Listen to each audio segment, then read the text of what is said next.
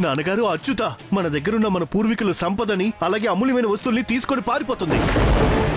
నేను మీతో చెప్పాను కదా ఇంత చిన్న వయసులో ఇంత పెద్ద బాధ్యత తను నిర్వహించలేదు అని? తెలుసా? ఈ కారణం వల్ల సమాజం అంటూ hello guys welcome back to our channel so last episode చూసారు కదా చాలా ఇంట్రెస్టింగ్గా ఉంది అండ్ చాలా బాగుంది. సో ఈ ఎపిసోడ్ కూడా ఇంకా ఇంట్రెస్టింగ్గా ఉండబోతుంది. అస్సలు మిస్ అవ్వకండి. ఫస్ట్ నుంచి లాస్ట్ వరకు మిస్ అవ్వకుండా చూడండి గైస్ చాలా నేర్చుకుంటాం. అండ్ ఈ వీడియోకి మీ టార్గెట్ వచ్చేసి ఫైవ్ హండ్రెడ్ లైక్స్ సో అందరు లైక్ చేయండి. సో చూసిన ప్రతి ఒక్కరు లైక్ చేసినా ఫైవ్ హండ్రెడ్ లైక్స్ రీచ్ అయిపోతారు. సో లైక్ చేయండి గైస్ అండ్ వీడియోకి వెళ్ళే ముందు ఒక చిన్న మాట. సో లైక్స్ అనేవి ఒక బిజినెస్ అని అంటున్నారు చాలామంది. సో ఇదంతా ఏంటో ఇది అన్నిటికీ రీజన్ లాస్ట్లో చెప్తాను. ఫస్ట్ అయితే వీడియో చూసేద్దాం రండి. నాకేమనిపిస్తోందంటే కృష్ణుడికి నీ విషయాలన్నీ గుర్తున్నాయి అనిపిస్తోంది. అలాగా? అదైతే నిజమే. కానీ నాకిప్పుడు ఏమనిపిస్తోందంటే కృష్ణుడిని నువ్వు మర్చిపోవాలని. మొత్తానికి ఎప్పటికీ నువ్వు మర్చిపోవాలి. ఏంటిది? ఏం మిగిలుంది? ఏమీ లేదు కదా. ఏదైతే ఉందో అది గడిచిపోయింది. ఏ ప్రేమ అయితే ఇష్టం ఉందో అది ఇప్పుడు లేదు కదా. కృష్ణుణ్ణి మర్చిపోవాలని సరిగ్గానే చెప్పాను కదా నేను. అవును. హా, రాధా నువ్వు మంచి పుత్రివి. విశ్రాంతి తీసుకో ఇంకా జాగ్రత్తగా ఉండు. హ, ఆ. ఆ, నేను వస్తాను. తెలుసా అయాన్? ఇన్ని సంవత్సరాలలో నేను మీ నాన్నగారిని ఎన్నోసార్లు అడుగుతూ వచ్చాను. ఆ పెట్టెలో ఏముంది అని. కానీ ఆయన ఎప్పుడూ ఏమీ చెప్పలేదు. ఇక ఈరోజు రోజు చూడు ఎంత సులువుగా మొత్తం విషయాన్నంతా ఆ అచ్యుతకి చెప్పేశాడు. ఆ అచ్యుత ప్రతిరోజు తన తెలివిని చూపిస్తూ ఉంది. ఇప్పుడు తను రాధా ఇంకా నాన్నగారిని ఇద్దరినీ కూడా తన వశం చేసుకుంది. ఇప్పుడు వాళ్ళు తన మీద మనకన్నా అధిక విశ్వాసం చూపిస్తున్నారు. అయితే సరేలే. ఆ విశ్వాసం ఉంది. దాన్ని మనం విరిచేద్దాం.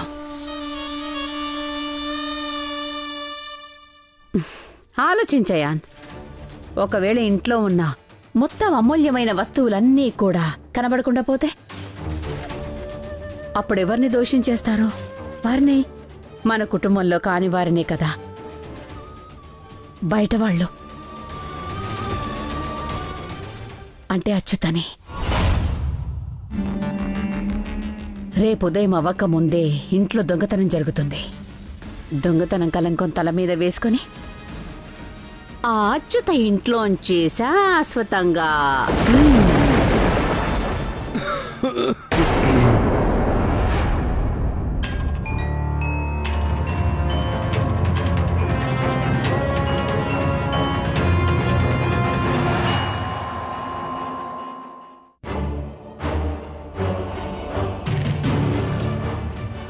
అద్భుతం. అచ్యుత తన కాళ్ళని తనే నరికేసుకుంటోంది. పదమ్మా ఇప్పుడే తన సత్యాన్ని అందరి ముందు ప్రకటిద్దాం. లేదయాన్. దొంగతనం జరక్క ముందే ఎవరిని దొంగ అనకూడదు. తనని ప్రశాంతంగా దొంగతనం చేసి ఇక్కడి నుంచి వెళ్ళనివ్వు. దాని తర్వాత దాని తర్వాత తన తలపైన దొంగ అనే కలంకం వేసి ఈ మొత్తం బర్సానాలో ఎలా నిందిస్తాను అంటే మళ్ళీ ఎప్పుడు ఎవరి ముందు తల ఎత్తుకొని నిలబడకుండా చేస్తాను. ఏదో అంటూ ఉండేదిగా. అచ్యుతా ఎప్పుడు తల దించుకోదు అని. కానీ ఈసారి దించుకుంటుంది.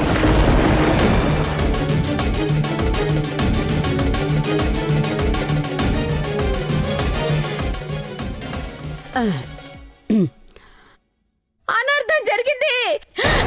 స్వామి! స్వామి అంతా దోచుకున్నారు!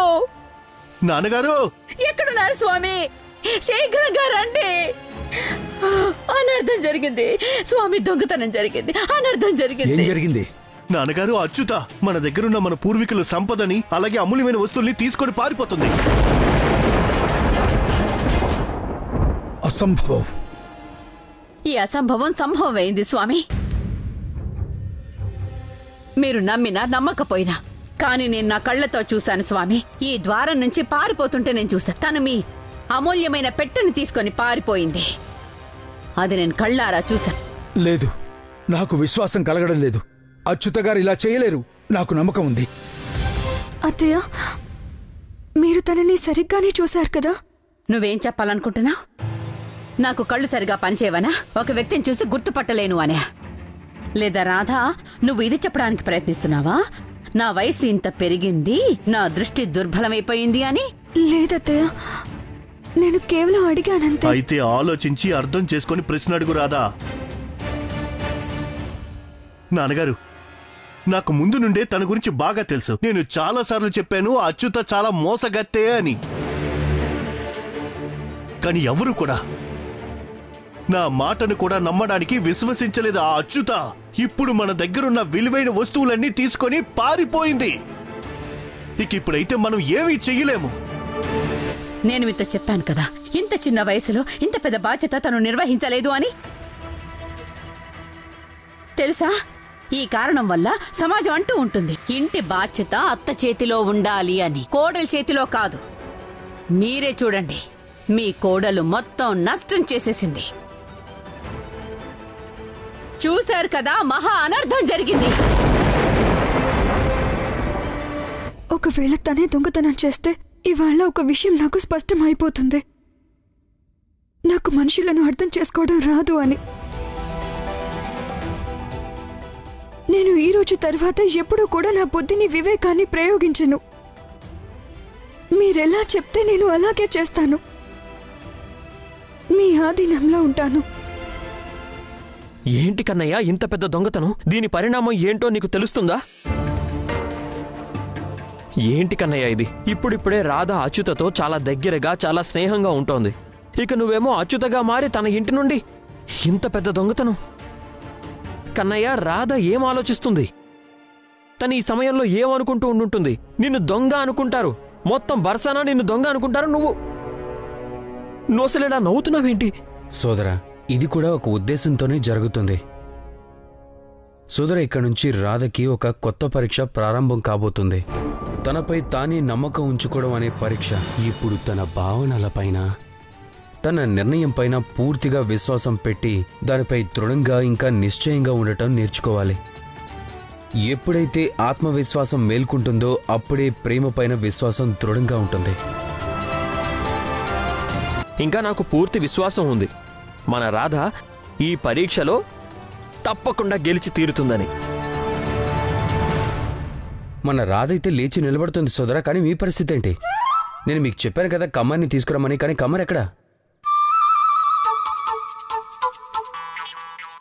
అలాగా? నీకిప్పుడు మీ సోదరుడు ఉండగా కూడా నీకు కమ్మర అవసరం ఉంది అనిపిస్తుందా?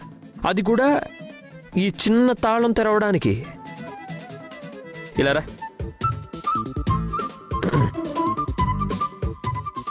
నీకు గుర్తుంది కదా కన్నయ్య. నన్ను బలరాముడు అని ఎందుకు పిలుస్తారో?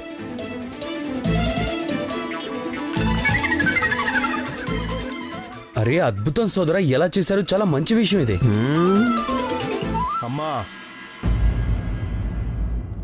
పంచాయతీ సభ అక్కడ సిద్ధంగా ఉంది. ఇప్పుడు తొందరలోనే ఆ అచ్యుతకి ఎలాగైనా దండన లభిస్తుంది. ఉత్తమం. అత్యుత్తమం. ఈ అగ్నిలో మనం కూడా కాస్త నెయ్యి వేద్దాం. ఏమంటావయ్యా? ఆ అచ్యుతకి ఎలాంటి దండన పడాలంటే మన జీవితం నుండి తన పేరు కూడా అదృశ్యమైపోవాలి. అలా జరగాలి.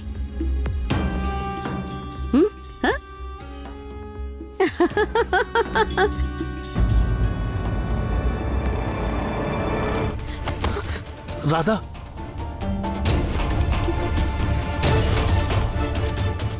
ఉన్నట్టుండి నీకిప్పుడు ఏం జరిగింది రాధా? నేను పంచాయతీ సభకి వెళ్తున్నాను. రాధా నువ్వు ఇప్పుడున్న పరిస్థితుల్లో అక్కడికి వెళ్ళడం మంచిది కాదు. ఇంకా ఇక నీలో ఉన్న విషయం పెరిగిపోతుంది. రాధా నువ్వు ఔషధాన్నైతే తీసుకున్నావు కదా.